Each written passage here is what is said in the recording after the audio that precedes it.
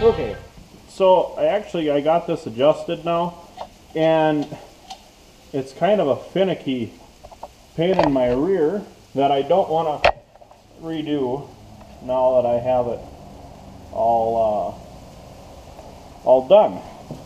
So I'm just going to explain it here in simple terms. Um, disregard the fact that mine has extra nuts on it. We're just going to say you have castle nuts. When you have this open, you will take and you'll run all of your nuts in equally.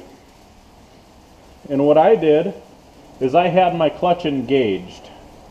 And I just went and I snugged up the nuts up against the piece here. And what your goal is, and watch carefully here, when you engage, you want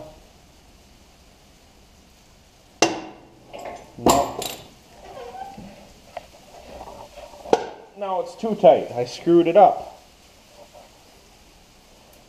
Let's see what I did here. Let's see. You want a nice snap like that, and you want a nice release like that. Nice snap in, nice release.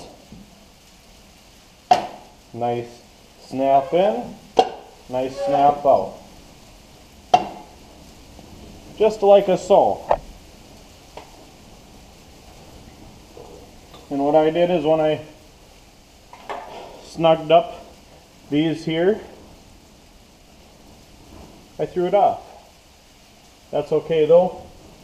I'm more careful this time, so that ain't gonna happen again.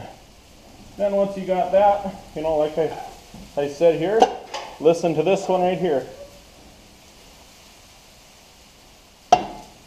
Just a nice snug snap in. You don't want it so damn hard you got to use two hands to engage your clutch.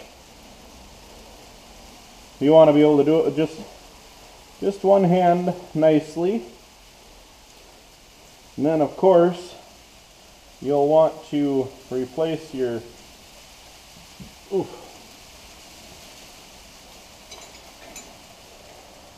um, your little springs here, these little metal clips in your castle nuts. And I didn't get new ones, and I forgot that I was out of them. So, I'm going to try and reuse the old ones, even though they're not in too great a shape. At some point, I'm going to go through this again, and I'm going to actually take the pulley off. And at that time, I will replace these extra nuts that are in here with bushings.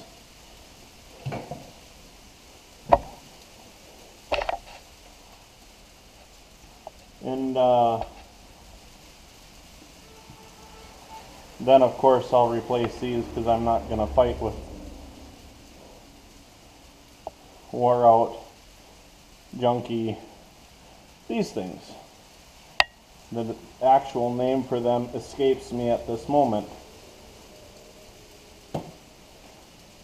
And of course this one just wants to be a bugger. So I'll be back to finish this off so, moment. I got it all together now. Uh, give it one last look over. Make sure them are in. Everything looks pretty darn good. So all that's left is to fire it up.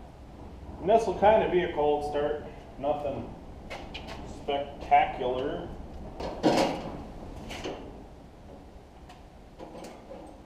Okay, so we're gonna start it up here. It's in neutral clutch is engaged, we're going to see what happens.